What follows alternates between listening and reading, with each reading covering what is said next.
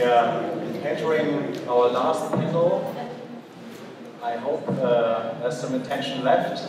it was a long day. Um, unfortunately, we, uh, some of the signs have gone lost, so I will introduce again our guests, but they have already been introduced, so, I'll use the names, okay?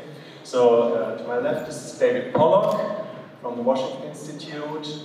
Um, extreme left. Extreme left. Matthias Küntzel um, from Hamburg. Emily Landau from the INSS. Kamal Allabwani from the Damascus Institute. I have a short, um, short introduction uh, to have some, some ground for our, our discussion. Um, and uh, my introduction intends to provide some input for a broadening of this perspective, as we should discuss not only the powers that be right now, but also possible events and players to come in the future.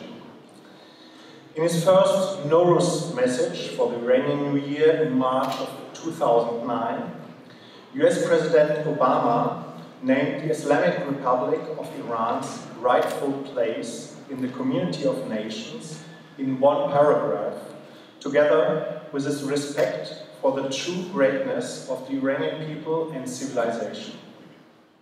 In his speech to the Islamic world in Cairo in June of the same year, he talked about Iran's leaders and people in one phrase. Only one week later, the uprising in Iran put into question that these two poles really fit together as part of one entity. Two years later, in 2011, Israel's Prime Minister Netanyahu was asked if he would be uncomfortable with the downfall of Mubarak in Egypt, and he replied, If this revolution in the Middle East is shaking everything in place, but it also includes the place where it started, Tehran, Iran, and Iran is transformed into a democratic society, I would say it's worth it, because the Middle East would have a brilliant future.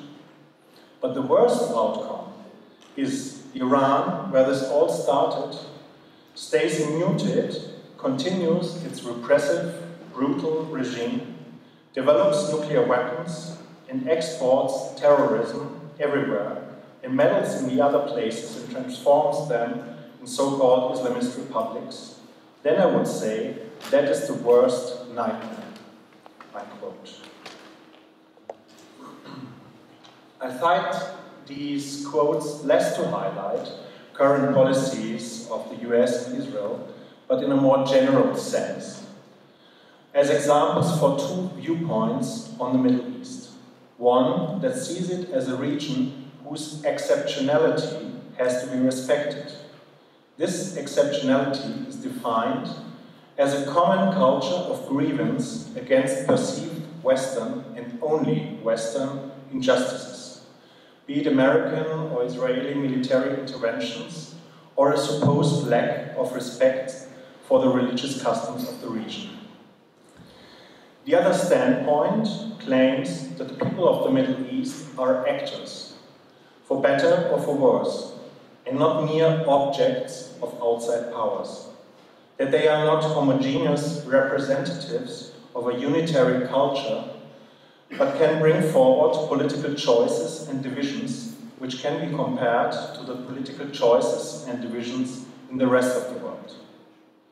And that some of their representatives even voice criticism of their own societies that are more radical than Western analysis of the root causes of the turmoil in the Middle East. The first viewpoint claims that in order to bring peace and stability to the Middle East, the West has to support virtually every rule in the region, at the moment with the exception of the Islamic State, as representatives of their people and their culture. This viewpoint holds that disagreements only exist between the different rulers, and those can be solved at international conferences. The other viewpoint sees decades of Western so-called stability policy in the Middle East as one of the sources of the actual chaos and meltdown. The idea that any claim for change to better can only be a neoconservative plot associated with military intervention is part of this controversy. And the fact that many of the Western left are the most eloquent advocates of so-called stability versus freedom is a pe peculiar detail in this panorama. Another one is that within these dramatic changes in the Middle East, the Israel-Palestine conflict has changed its status. Up till 10 years ago, the rallying cry against Israel was a powerful mobilization tool along the Middle East, and many Westerners agreed that this conflict is the main determinant in the whole region. Anat Kurz mentioned it also. In view of hundreds of thousands of dead, millions of refugees from Syria and Iraq, the expansion of the Shia Islamist axis on the one hand, the Islamist state, Islamic State on the other, and terrorist blows in Europe, this assertion seems no longer tenable. The single focus on anti-Zionist policies is now a partisan issue associated with the different factions of jihadism, shunned by many of its adversaries. This is not to say that anti-Zionism and conspirational thinking has vanished from the Middle East, mainstream. We see it these days in Arab media responses to the Paris attacks. But toying around with the destruction of Israel today directly implies support for the Islamists, the most consistent advocates of the war against Israel in the last four decades. The days of glory of Iranian Shia Islamism, when Nasrallah and Ahmadinejad could claim to represent the whole Muslim world in the name of anti-Zionist so-called resistance in the Middle East are gone. When Hezbollah's leader recently admonished the rulers of Saudi Arabia that not the Houthi militias, but Israel would be the enemy of all Arabs, which should be fought together, apparently hardly anyone listened. An Iraqi TV presenter, in a fiery exchange of words with a Shiite militiaman, summarized his opposition to jihadism in one sentence, quote, Palestine is not the cause of the Iraqis. We don't want that Iranian rhetoric. Meanwhile, the Palestinian territories themselves have stayed relatively immune to this trend and also to the Arab Spring. There is a status quo of Islamist Hamas rule in Gaza and a Palestinian authority in the West Bank with overdue elections, even, um, even though Even though thousands of Palestinians have been victims of Assad's war in Syria. So this is not, not even in the center of the discussion uh, uh, in the Palestinian territories. Sarcastically put, the only recent innovation, in quotations, has been the so-called knife intifada, another form of terrorist assaults against Israeli civilians celebrated in Palestinian media The question seems legitimate, what has been the contribution of Western funding to circumstances in the Palestinian territories, which are an obstacle both to progress for the Palestinian society and for peace with Israel. If we look back at the six years since 2009, we saw millions of the streets of Tehran protesting for their votes, and uprising echoed by so, the so-called Arab Rebellion in 2011. The rise and fall of the Muslim Brotherhood in Egypt and the civil war in Syria brought a temporary end to these changes and a supposed back to the normal of the mediation between dictatorial rulers and global powers. This was highlighted by the Western deal with Russia over Assad's poison gas attacks in 2013 the nuclear deal with the Iranian regime, and the current conferences about Syria without Syrians. But the back to the normal is not back to the status quo ante. On the one hand, the Islamic State, as a new actor, has filled the vacuum left by Western powers. On the other, millions of refugees from Syria and other neighboring countries highlight that the politi politics of containing shaky existing order may have come to an end, and that at least Europe can't evade the consequences, be it the refugee crisis or terrorist networks breeding in failed regions. After Paris, the open question is if, in the name of fighting the so called greater evil of ISIS, the West will invite Putin's Russia, the Iranian regime, and its proxies as partners, and Assad is stabilized as the lesser evil. Or is another perspective necessary and possible, one that looks beyond the hardly two years of existence of the Islamic State and asks about the roots of jihadist Islamism in the 20th and 20th, 21st century. And last but not least, anti-Semitism and anti-Zionism as part of its indispensable ideological kernel. And what can be done about it? I'll finish with a recent quote from the Syrian dissident Abu Dandachi. Quote, Europe missed the signs. Extremism always starts with anti-Semitism. It's not a problem just for the Jews. It's a symptom of something much worse to come, and frankly, Europe's response to the growth of anti-Semitism has been appalling. People don't just make the jump from normal dude to bloody maniac. There are a lot of steps in between. So in order to find new perspectives, we have to go back to ask how should the main problem be defined, what can, can be expected as a reaction, and what we, would be desirable. So we start with David Pollock. I have to say that uh, Emily Landau has to leave a bit earlier, so uh, she will be the second one, and uh, as we approach, we'll always have the, the first word if there are uh, questions from the public. So um, perhaps to start, David Pollock, you were very quite optimistic uh, about the status, security status of Israel right now. But of course, uh, what will happen in the future to Israel and to the whole region um, also depends uh, not only on Israel, but also on other powers. On the one hand, on, the rest of the Middle Eastern region, and also of uh, the West. And here, as an American, I would like to ask you particularly, what do you think about what has been perceived uh, as US uh, policy in, let's say, the last five to seven years as withdrawal from the Middle East? Um, is this a possible option? Um, is it uh, is it something which will which will be finalized with the current administration, or is there, there some more general trend?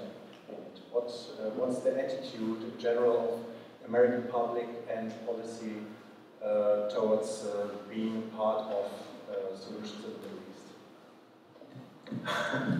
okay, uh, thank you again for the opportunity and um, to all of you in the audience for staying with us uh, for so long. I, I, my short answer to your very big question uh, would go like this. I, I think that when you talk about the American withdrawal from the Middle East, it, what it really means is American unwillingness to engage in any more major land wars in the Middle East, as we did in Iraq and Afghanistan for much of the last 15 years. Uh, and as in fact we're still doing in a small way in both countries. So that's what American withdrawal from the Middle East mostly means to me, and I think to most Americans. I don't think it means that the United States is going to want to or be able to ignore the region, stop supporting Israel, stop caring about refugees, stop uh, its support for our Arab friends in the Gulf and in Jordan and in Egypt and in Tunisia and Morocco and so on. Uh, I think we will remain involved. And I say that despite a really important new thing, which rated, I think, a very brief mention here uh, earlier, which is the end of American dependence on Middle East oil uh, or gas. Uh, that, that really is a change in the global, I think, geopolitical arena. But it doesn't mean all by itself that the U.S. is simply going to walk away from the region. Um, and uh, so I know I'm being a little bit optimistic here too, I guess, but maybe that's just me. But no, I, I think it's really, uh, really the way it is. And I think if you look at American public opinion polls,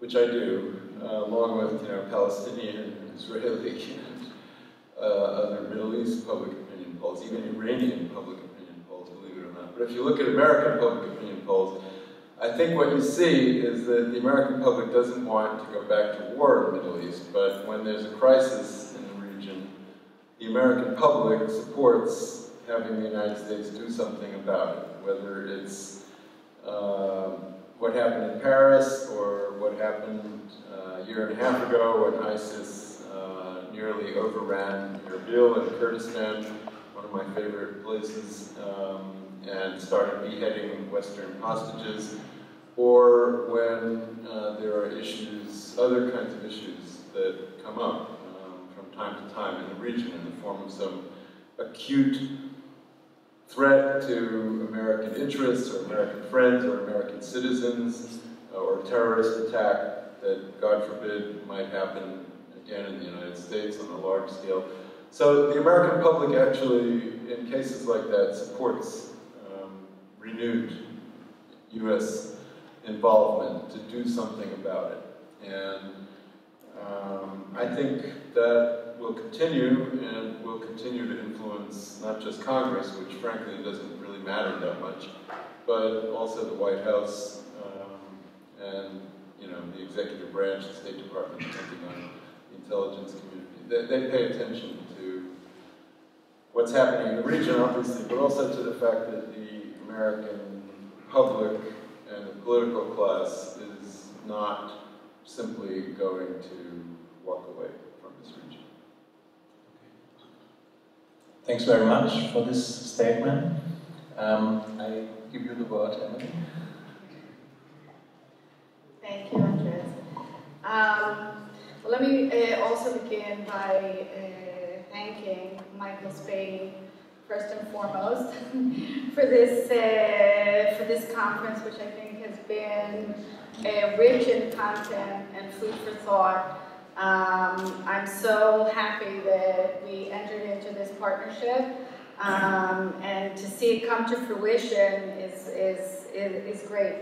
Um, thanks really to the audience, which has been attentive and, and inquisitive, and, and it's been a really good experience. Um, I did thank you last night, but I, I think here people didn't see me behind the computer, that's why I had to ask. um, I want to relate to some of your themes very quickly, and maybe with a slightly different take uh, on some of the things that you said.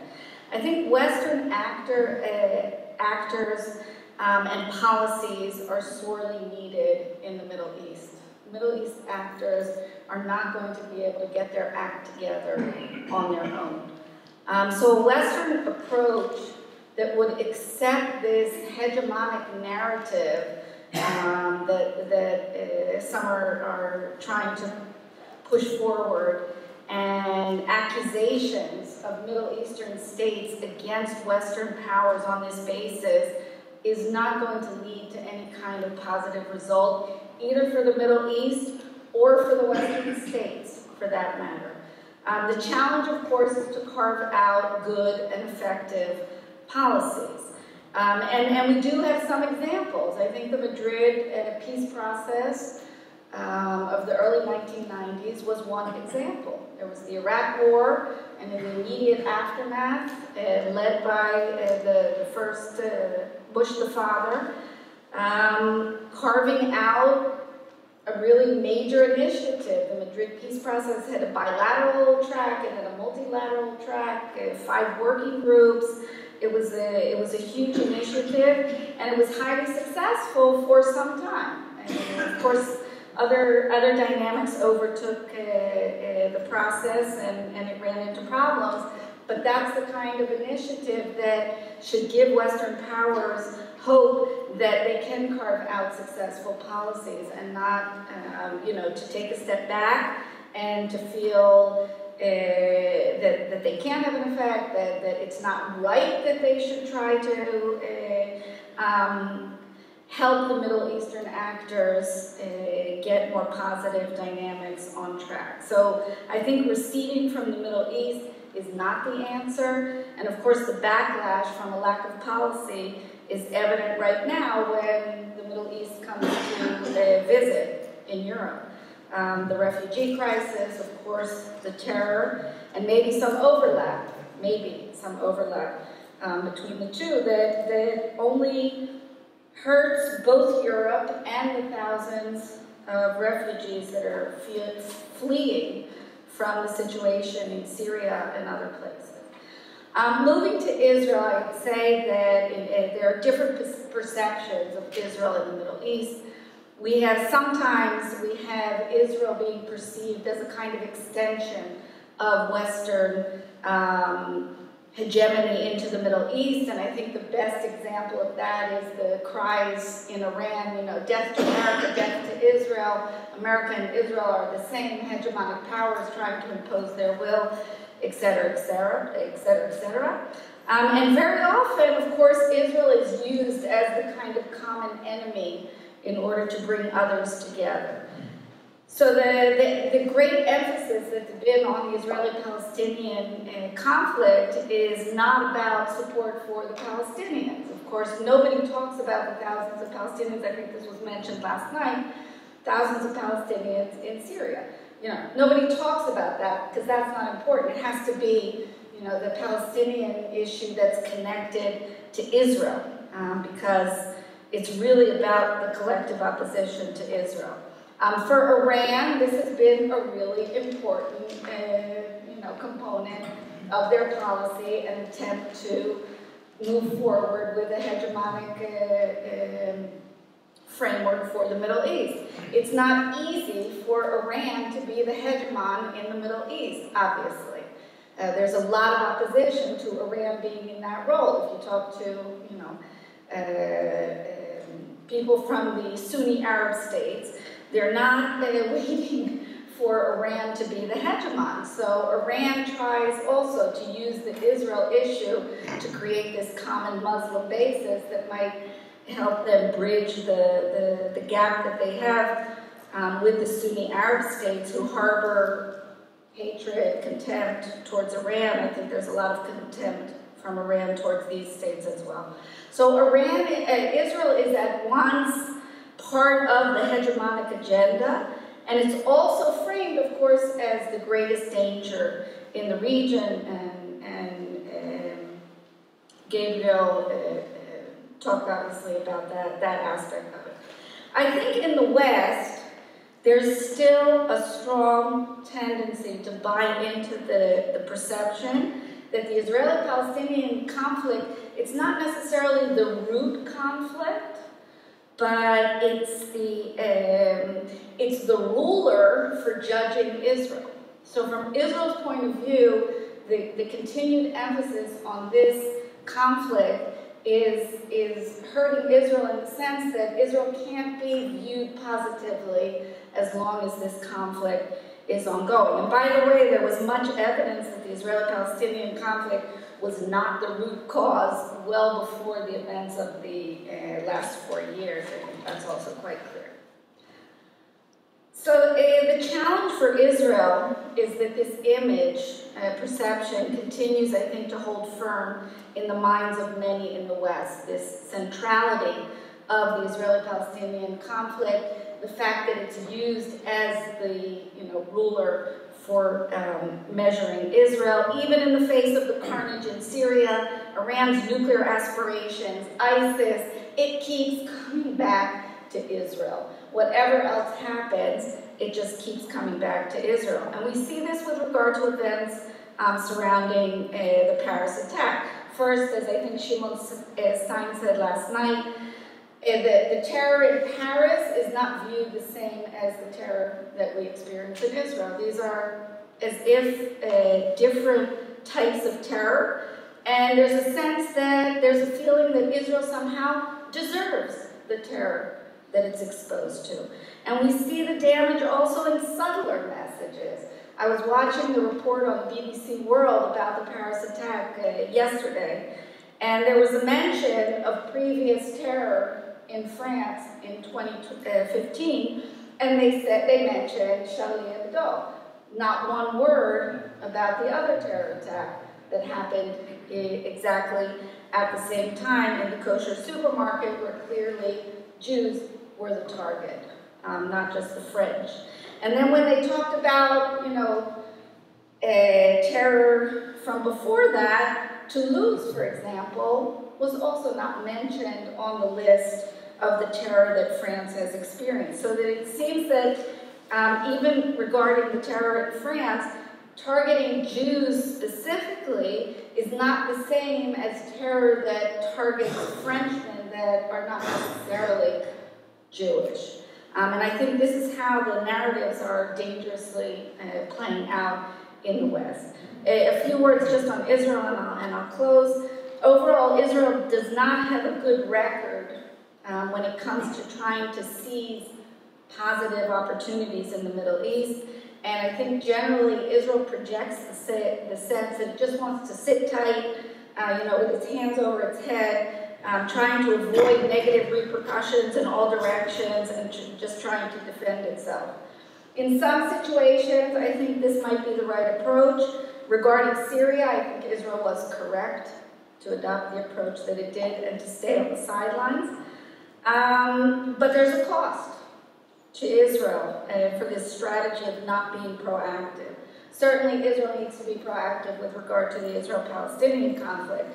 But even regarding Syria, we see that at the end of the day, Iran has forced itself onto the agenda in a manner that it now has a seat at the table in Vienna to discuss the situation in Syria, whereas Israel, who is also quite um, uh, concerned with the developments in, in the country just to the north, is absent um, around the table. So another challenge for Israel is to try to find ways to be a little bit more proactive itself as far as regional dynamics and to stop thinking about itself as a state that can't have an effect on regional dynamics and that its only role is to, as I said, sort of keep its hands on its head, to lay low and hope that, you know, the next a round of violence, wherever it is, will not come into Israel proper.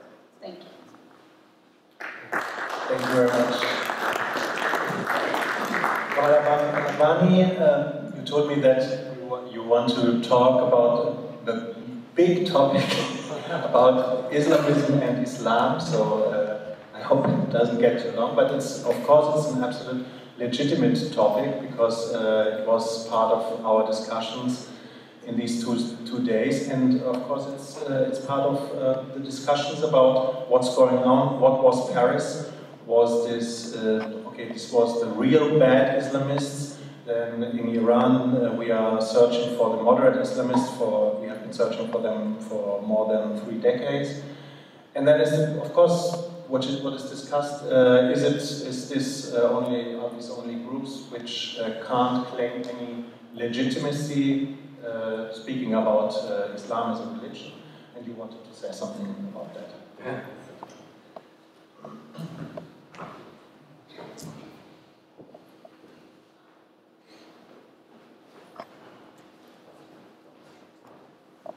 I speak first about the situation in the Middle East, and after that, if we have time, we will discuss the matter of what the problem we have suffered inside the Islamic culture.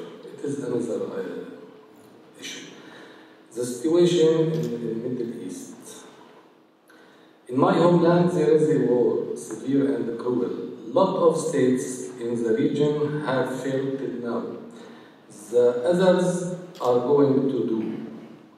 why the international civil war have erupted in all the large Middle East, a conflict across the borders between all identity and religions whom struggling to sustain.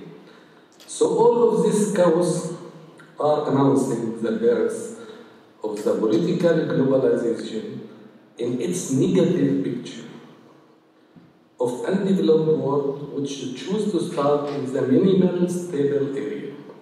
This area has been suffering from artificial, stupid and violent modernization, leading by leading finally the uh, states to fail dramatically as the dominant. Who involved in this situation has the following option. To have the most lethal weapons as Iran do, to use the most fanatic terrorist ideology as Al-Qaeda do, to commit all kinds of crimes, use all kinds of weapons, include mass destruction, and invite any cruel intervention or occupation as the Syrian regime with Russia do.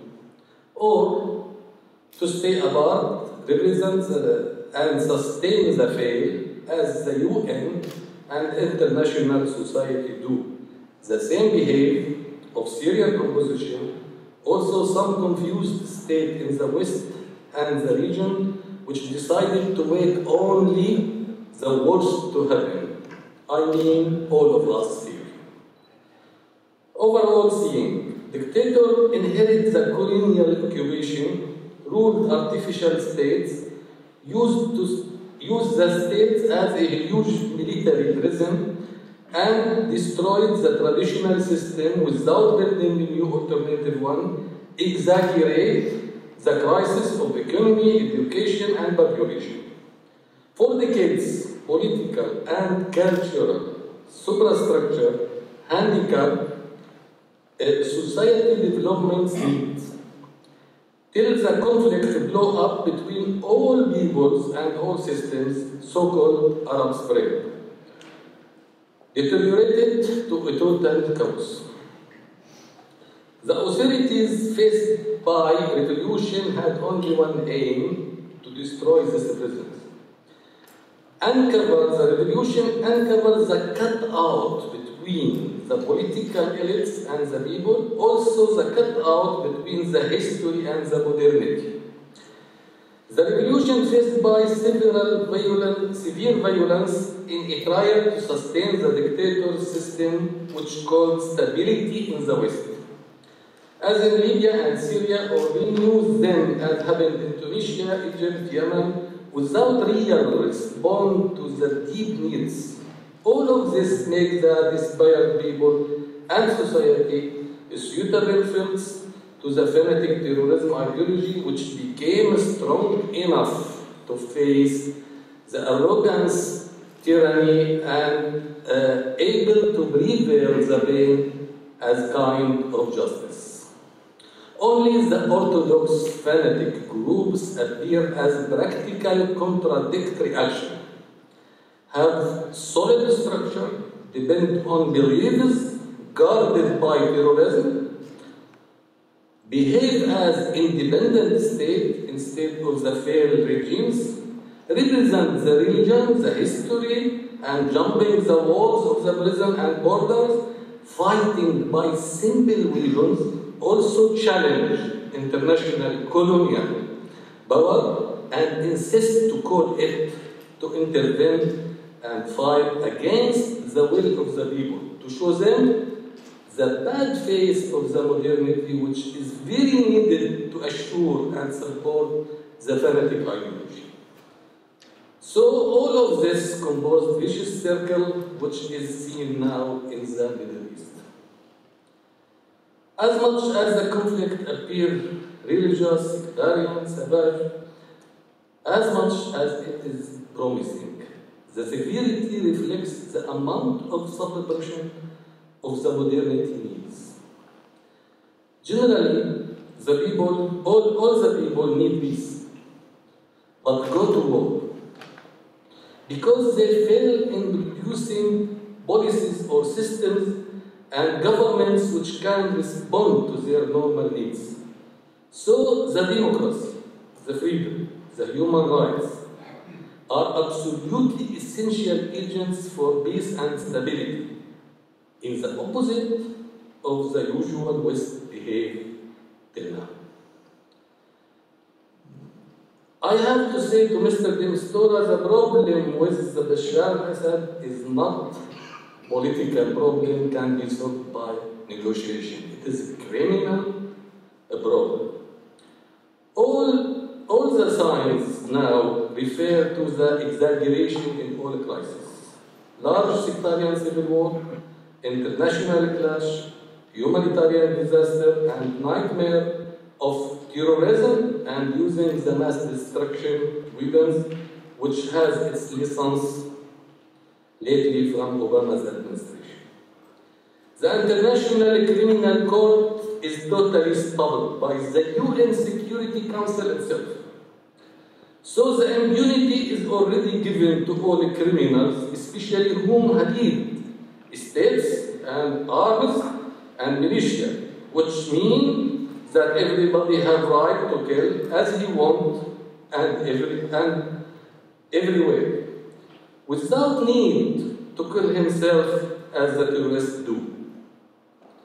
This is the less surprise I have been expected from the strategy of keeping Bashar Assad regime killing without any reaction. The victim whom wait justice for very long and hard time discover easily that they are not weak. They will not be weak anymore just if they change their names and the flags from rebellionists to jihadists. As we see, because the absence of justice, everybody feels that he is victim. So who do that? And who bears it? who bears the main responsibility? I mean exactly who wins the Second World War and built this international system. To secure the region and the world from more danger and to avoid Third World War and big clash between the regions, we need international respect to the same methods and values for all.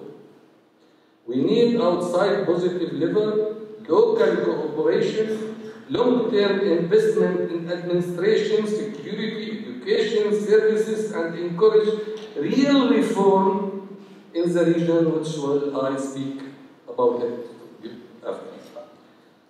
To rebuild the societies, the political system, again from this ruin. To regulate this unproductive chaos, we note air forces and wars cannot solve the problem. Second, waiting to exhaust the fanatic power is bad strategy. The war exaggerates its power and its spread. The chaos cannot regulate itself easily and fast. It needs outside help, large project for all the region and local international coalition not only to fight but also to build. It needs to start from safe zone, we have to speak about it. Then expand them. The urgent need to use power is to put limit to the dangerous militia as Hezbollah, ISIS, and mass destruction.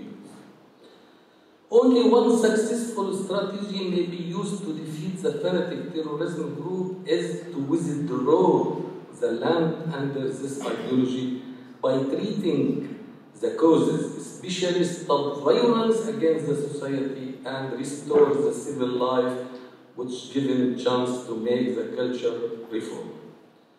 Nobody live, can live alone, and nobody hate the civilization. But my people face its bad tran- translation as a dictator, corrupt, tyranny regime, or airstrike. Some of my people think the past is better, so they escape backwards to the very old savage past history. Some of them think the problem is the land, So they try to escape through the seas and come here to the Dutchland by the laws of the globalization. Yeah, yeah. Normally, normally the human aware work start by a plan, thinking, but the history moves by blind contradict elements which conflict and change each other. This defines the difference between us here and whom involved there in the conflict. So I think the matter is not the paper. Any positive plan need executive institutions, which unfortunately till now unaware to the methods. Ethics till now is not a benefit for the great powers. So the international system also needs urgent reform. Traditionally, tender Middle East still a, a, as a reactor of culture. And now this reactor is working and boiling. So I invite all people represent here to participate, especially the German and Jewish people. Thank you.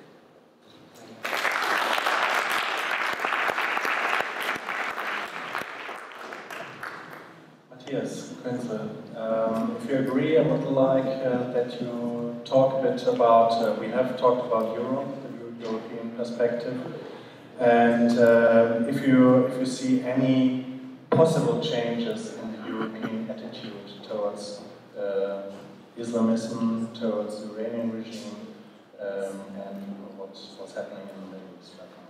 Thank you, Andy. I, I beg your pardon. I, I prepared notes, but I threw them away under the impression of the day, which was indeed a very interesting and clarifying day. I at least learned a lot.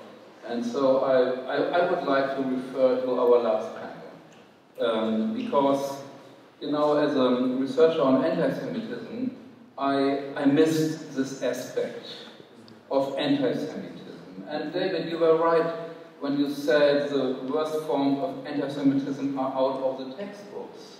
But the worst forms of anti-Semitism are not out of the social media, not out of the mosques, not out of the press of the not out of you know the everyday life. And textbooks, uh, every one of us knows, are not the main influence. So we shouldn't blind ourselves.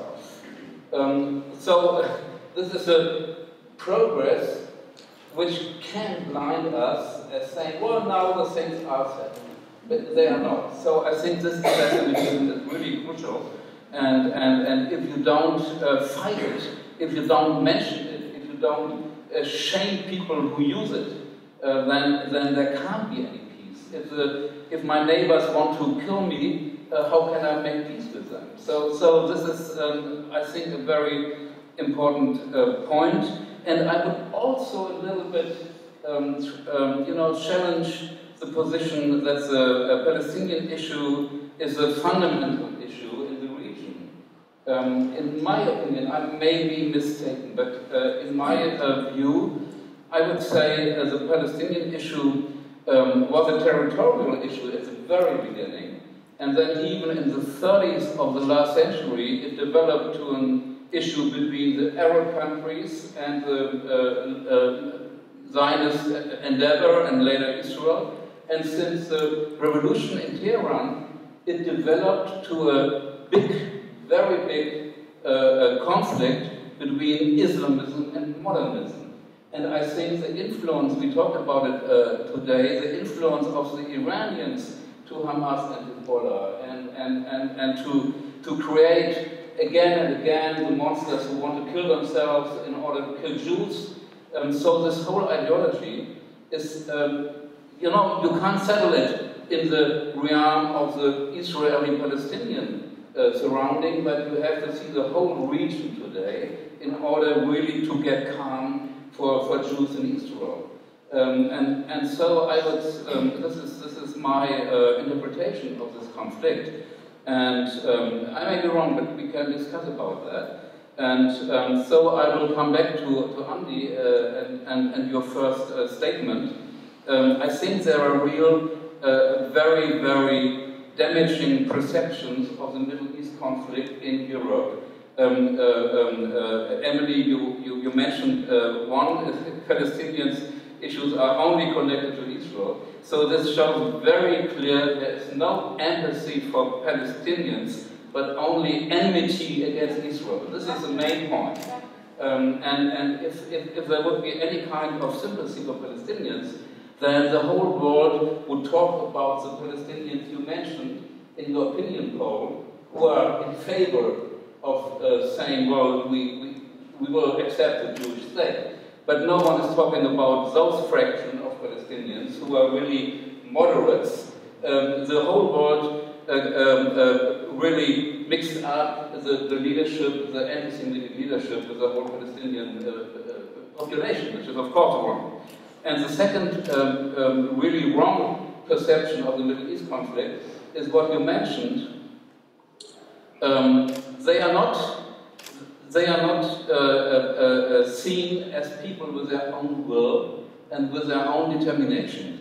It's, it's said, well, if they deny the Holocaust, they have no other way to express their uh, hatred towards Israel, and see Israel is to blame for that. So I think this kind of uh, dealing with Palestinians is racism. It's a kind of paternalistic benevolent racism saying, well, those people are just too stupid to be responsible for their own deeds. And so I think it's really important what you mentioned, Andy, that um, we, we, we have to see those people as real actors uh, and, and they can change their fate if they want to. Uh, they are responsible for their deeds and especially for what they publish in their social media you.